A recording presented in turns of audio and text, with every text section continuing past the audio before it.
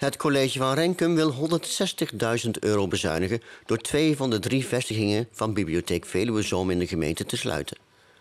De gemeente Renkum kent op dit moment drie vestigingen van Bibliotheek Veluwezoom, een jeugdbibliotheek met een afhaalpunt in Doorwerd en twee volwaardige vestigingen in respectievelijk Oosterbeek en Renkum. Het college wil de bibliotheek terugbrengen naar de basisvoorziening in één hoofdvestiging.